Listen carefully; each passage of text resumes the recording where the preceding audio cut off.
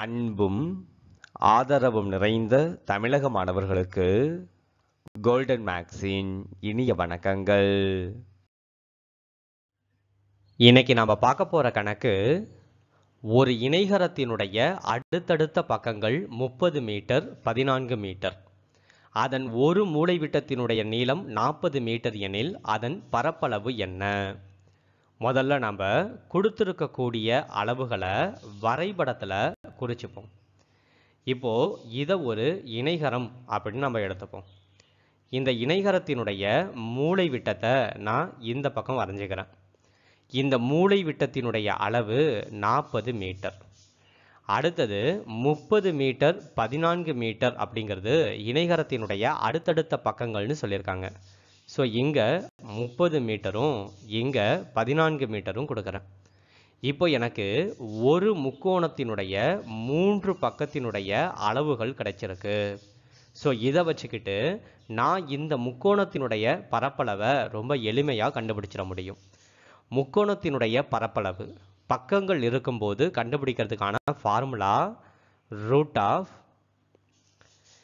s s minus a s minus b s minus c இங்கே நமக்கு மூன்று பக்கங்கள் இருக்குது பார்த்தீங்களா அதை நாம் ஏபிசி அப்படின்னு எடுத்துக்கணும். முப்பதை ஏனும் பதினாலை பீனும் நாற்பதை சீனும் எடுத்துக்கணும்.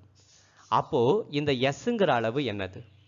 எஸ்ஸுங்கிற அளவு கண்டுபிடிக்கிறதுக்கு ஒரு ஃபார்முலா இருக்குது s equal to a plus b plus c by two இங்கே ஏபிசி மூணுத்தையும் கூட்டணும்.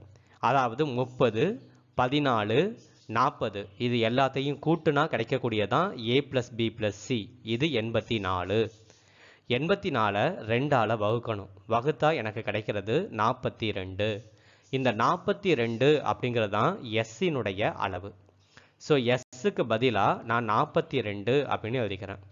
இப்போது எஸ் மைனஸ் ஏ அதாவது நாற்பத்தி ரெண்டுலேருந்து ஏயினுடைய அளவான முப்பதை கழிக்கணும். அப்படி கழிச்சா எனக்கு கிடைக்கக்கூடியது பன்னெண்டு. அடுத்தது எஸ் மைனஸ் பி நாற்பத்தி ரெண்டுலேருந்து பதினாலை கழிக்கணும். அப்படி கழிச்சா எனக்கு கிடைக்கக்கூடியது இருபத்தி எட்டு. எஸ் மைனஸ் சி நாற்பத்தி ரெண்டுலேருந்து நாற்பதை கழிக்கணும். அப்படி கழிச்சா எனக்கு கிடைக்கக்கூடியது இரண்டு. சரி இப்போ நான் என்ன பண்ணுறேன் அப்படின்னா இது எல்லாத்தையும் பெருக்க போகிறது கிடையாது. இது எல்லாத்தையும் பகாக்காரணிப்படுத்த போகிறேன் நாற்பத்தி ரெண்டு அப்படிங்கிறத எப்படி எழுதலாம்? ரெண்டு பெருக்கள் மூணு பெருக்கள் ஏழுன்னு எழுதலாம். ரெண்டு மூணு ஆறு ஏழு ஆறு நாற்பத்தி ரெண்டு ஸோ இப்படி பிரித்து எழுதிக்கலாம். பன்னெண்டு அப்படிங்கிறத ரெண்டு பெருக்கள் ரெண்டு பெருக்கள் மூணுன்னு எழுதலாம். ரெண்டு ரெண்டு நாலு நான்கு மூணு பன்னெண்டு. இருபத்தி எட்டு அப்படிங்கிறத ரெண்டு பெருக்கள் ரெண்டு பெருக்கள் ஏழு அப்படின்னு எழுதலாம். ஏன்னா ரெண்டு ரெண்டு நாலு நாலால் ஏழை பெருக்குனா இருபத்தி எட்டு வந்துடும். பாக்கி உள்ள ரெண்டை அப்படியே எழுதிக்கிறேன்.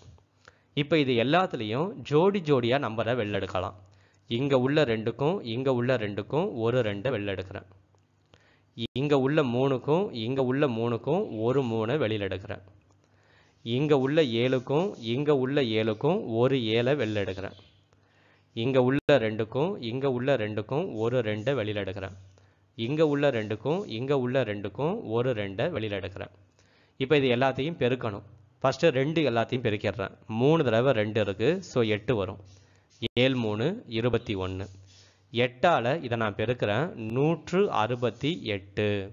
ஸோ நான் இங்கே ஷேட் பண்ணியிருக்கேன்ல இந்த முக்கோணத்தினுடைய பரப்பளவு நூற்று அறுபத்தி எட்டு அப்படின்னு நமக்கு கிடைக்கிது. இங்கே இன்னொரு முக்கோணம் இருக்குது இந்த முக்கோணத்தினுடைய அளவுகள் என்னவாக இருக்கும்? இங்கே பதினாலுனா இதுவும் பதினாலு. இங்கே முப்பதுனா இதுவும் முப்பது. அப்போ இதுவும் அதே அளவுள்ள முக்கோணம். அப்போ இதனுடைய பரப்பளவும் எவ்வளோ தான் இருக்கும்? நூற்று அறுபத்தி எட்டு தான் இருக்கும். ஸோ இங்கே இரண்டு முக்கோணத்தினுடைய பரப்பளவும் நூற்று அறுபத்தி எட்டு. ஸோ இது ரெண்டுத்தையும் கூட்டணும் அப்படின்னா நமக்கு இணைகரத்தினுடைய பரப்பளவு கிடைச்சிடும். இணைகரத்தினுடைய பரப்பளவு முன்னூற்று முப்பத்தி ஆறு மீட்டர் ஸ்கொயர். இதுதான் இந்த கணக்கினுடைய ஆன்சர்.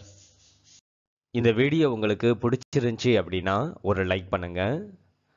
உங்களுடைய நண்பர்களுக்கும் இந்த வீடியோவை ஷேர் பண்ணுங்க. இதே போன்ற வீடியோ உங்களுக்கு ரெகுலராக கிடைக்கணும் அப்படின்னா மறக்காமல் நம்மளுடைய சேனலை சப்ஸ்கிரைப் பண்ணுங்க. மீண்டும் உங்களை அடுத்த வீடியோவில் சந்திக்கிறேன். அதுவரை நன்றி வணக்கம்.